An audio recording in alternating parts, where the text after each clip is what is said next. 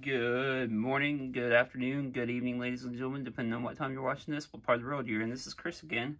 Watch Lounge coming at you with another video. Today's video is of my new Islander. This is the ISL 03, by the way, guys. Quick wristwatch check. I am indeed wearing that Alvin. Still honeymoon with that. Having on a BluShark strap. I got a couple different BluShark straps for this in the hammy to swap between. Really nice straps. Let me know if you want a video on the BluSharks, by the way. I, I was thinking about doing a review on them. I bought the BluShark with my own money. They did not send those in. But onto the Islander. This was requested. As you know, I have done uh, different Islander reviews in the past. Now, this one on the end, I will be able to show a Lume shot now since I, I am able to film with my iPhone 11, the upgraded phone on the Lume shot.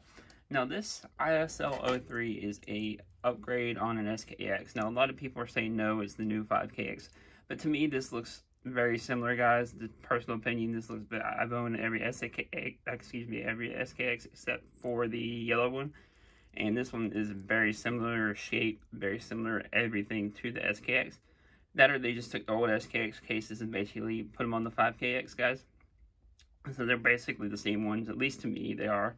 And this is everything that you would want on an upgrade, like if you were to mod or a regular SKX to your liking.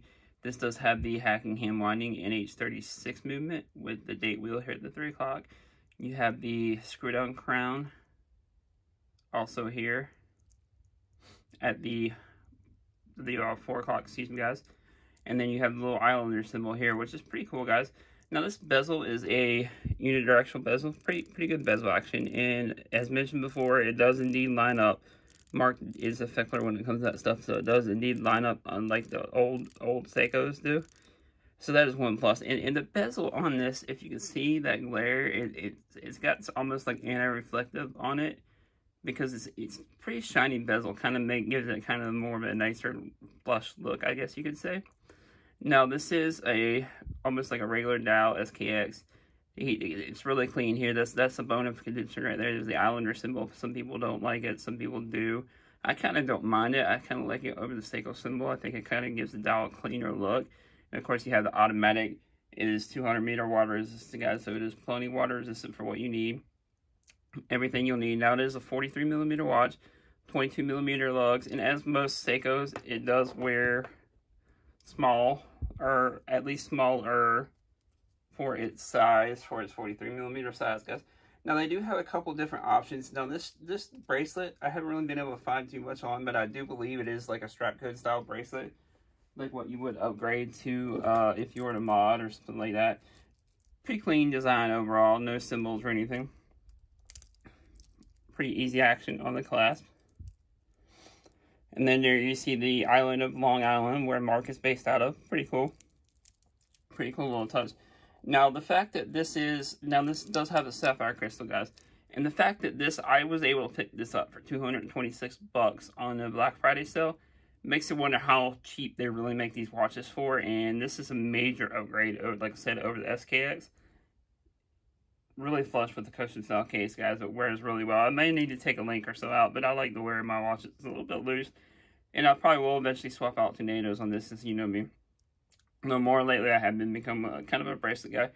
But again, like I said, even at the $299 price, guys, this is still a really great bargain. I feel like one of the best bargains out there for a daily driver. Matter of fact, I'm going to wear this to work tonight. I do go to work here a little bit. And like I said, overall, pretty fun to watch. He does have every style and flavor that you want, even a pink one out now. I, he may have a purple one. I'm not sure. Maybe thinking about a purple one. Mark, if you haven't, um, you, you should take a look at making purple ones as well. But he does have the orange one, the yellow, the green. And I do know he, for a fact he has the pink. Now, he does also, for the smaller wrist, have these in the 38 millimeter version. And he does have the Jubilee style bracelet option that you can get. So you can get pretty much every single option that you want on these Islander watches, guys. And the the the uh, the style is limitless. You can collect all of them if you want and not really have a lot of money into them. Like I said, even at that $300 full price is still a bargain, guys. Now let me go ahead and um, turn off the lights and I will show you the lume shot here. Here is a lume shot, guys. Nothing too spectacular, but it's not bad overall. And as you can see, the bezel kind of lumes a little bit as well. Here at the pip, the indices, in the hour and minute hands. So nothing too crazy, guys. But it does work pretty good. Like I said, let me know what you guys think down in the comments below. If you've already, if you watched this far along the video, I appreciate you. Give you kudos. And if, if you haven't already, please like, subscribe, and hit that notification bell as I do come out with content regularly, as well as live streams and also topic videos, guys. And I will see you in the next one. Peace.